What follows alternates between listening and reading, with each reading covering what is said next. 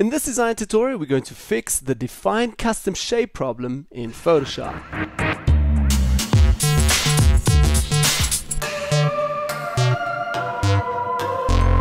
So, hi guys, welcome back to a brand new Photoshop design tutorial. My name is Manny and in this tutorial we're going to fix the define custom shape problem that so many of you have in Photoshop.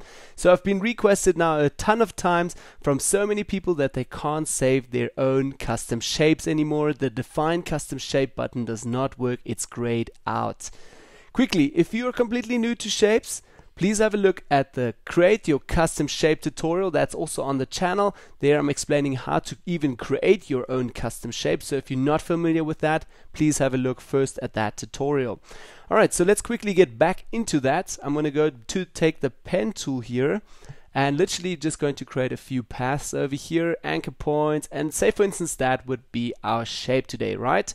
So I'm going to complete the path and this would be our shape.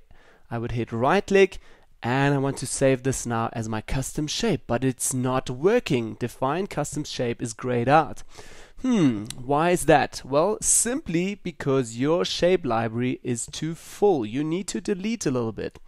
Okay so I'm gonna hit delete hit delete again so we can get back to our normal settings. I'm gonna go all the way to the left side select custom shape tool. We're gonna go to the application bar and to our shape library here at the top so you guys can see mine is also filled up pretty much. I filled it now with a lot of crap, so I need to remove a few things and sort it a bit. Very simple. You can just go over here to the settings bar on the right hand side. Again, over here, go to preset manager, and in preset manager, we need to, yeah, delete a few shapes. Again, I'm going to move it over a little bit, and you guys can see I've got a ton of different things here. So maybe let's delete a few of these persons out here. So I'm simply going to hold shift on the keyboard, select maybe the cow here in the front, and then holding shift and selecting the last one over here. So it's selected quite a bunch of those and I can now delete those. I'm simply going to go over to the right hand side, hit delete.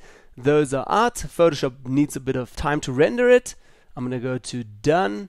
And now if I'm going to go back to the pen tool and maybe just quickly create again a few paths over here and this will be say for instance our shape now again. I'm to hit right click and voila there we go again. Define custom shape is now available again. So if you hit that you can now again save this as your whatever name you want to give that. Hit ok and you've again saved it with the define custom shape option there. Okay yeah so that's basically it for the defined custom shape problem. Now you can get around this problem again, just sort your library. And yeah, I hope this little tip helps you guys. So thanks again for watching guys. If you liked the tutorial, don't forget to hit the thumbs up there. Share it with all your buddies please who also have this defined custom shape problem. And yeah, don't forget to subscribe. Thanks again for watching guys. I'll see you all in the next tutorial. Bye bye.